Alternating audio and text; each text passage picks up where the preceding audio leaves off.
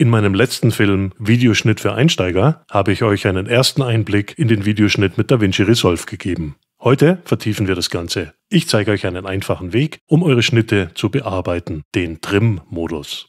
Hallo und herzlich willkommen auf meinem Kanal. Viel Spaß beim Ausprobieren und Nachmachen.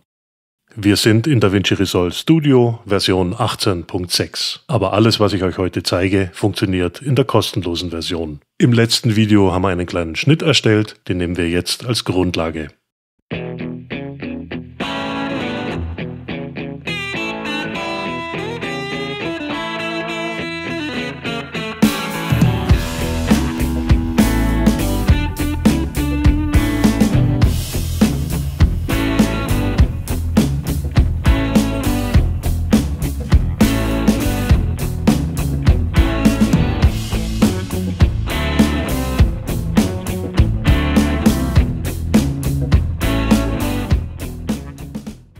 Soweit, so gut. Jetzt wollen wir uns an die Feinarbeit machen und den ein oder anderen Clip in der Länge und in seiner Position verändern. Dazu gibt es den Trim-Modus. Den Trim-Modus kann ich auf zwei Arten aktivieren. Entweder ich klicke auf dieses kleine Icon oder aber ich drücke die Taste T. Auf den ersten Blick passiert noch gar nichts. Der Trim-Modus ist ein cooles Tool, das vier wichtige Funktionen vereint. Und zwar wären das Ripple, Roll, Slip und Slide. Wenn ich im Trim-Modus über einen Clip gehe, kann ich beobachten, wie sich der Cursor ändert, je nach Positionierung. Das wäre Ripple, das wäre Roll, das wäre Slip und das wäre Slide. Schauen wir uns der Reihe nach die Funktionen mal an. Wir beginnen mit Ripple. Was heißt denn eigentlich Ripple? Die englische Übersetzung wäre Welle, Kräuselung.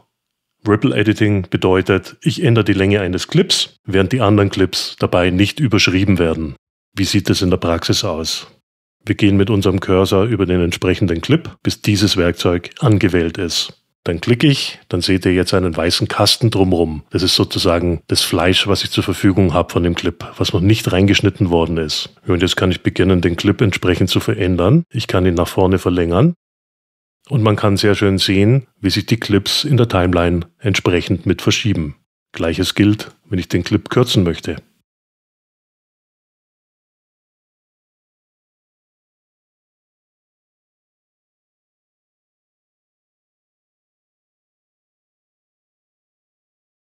Ein cooles Tool, was man immer wieder brauchen kann. An dieser Stelle möchte ich euch noch kurz Ripple Delete erklären. Dazu wählen wir einen Clip an und drücken auf der Tastatur die Entfernen-Taste, die Delete-Taste, wie der Name schon sagt. Und jetzt passiert folgendes, der Clip wird nicht nur gelöscht, es wird auch die Lücke geschlossen und die anderen Clips werden direkt hinten rangezogen. Nächster Modus, Roll. Dabei kann ich zwei Clips gleichzeitig verändern. Ich platziere meinen Cursor über die beiden fraglichen Clips, halte gedrückt und kann dann die beiden Clips verändern. Super simpel und einfach und die weiße Box zeigt mir dabei immer das sogenannte Fleisch an.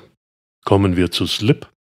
Dabei wird der Inhalt des Clips verschoben, die In- und Outpunkte bleiben und die Länge bleibt unverändert. Das heißt, ich kann jetzt quasi den Clip innerhalb der Timeline-Positionierung entsprechend feintunen. Wie funktioniert der? Wir gehen im Trim-Modus über den Clip, bis wir dieses Symbol bekommen. Das bekommen wir, wenn wir uns über dem Thumbnail befinden. Und dann schieben wir einfach lustig hin und her. That's it. Hier möchte ich das ein bisschen verschieben. Ich möchte, dass mehr von dem Biker sichtbar ist. Wunderbar. Perfekt. Dann haben wir zu guter Letzt noch Slide. Dabei wird der komplette Clip auf der Timeline verschoben und seine Länge bleibt unverändert. Den bekomme ich jetzt, wenn ich den Cursor unterhalb von dem Thumbnail platziere. Und jetzt können wir den einfach munter rauf und runter schieben.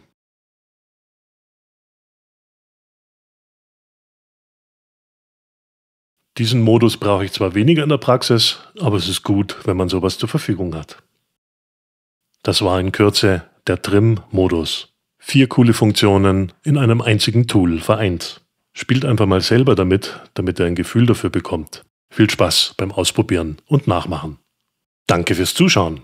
Wenn es dir gefallen hat, freue ich mich über ein Like, eine Weiterempfehlung und natürlich ein Abo. Hier auf meinem Kanal gibt es noch eine Menge weiterer Videos. Und wenn du Lust auf noch mehr bekommen hast, schau gerne mal bei der Wolffilms Academy vorbei.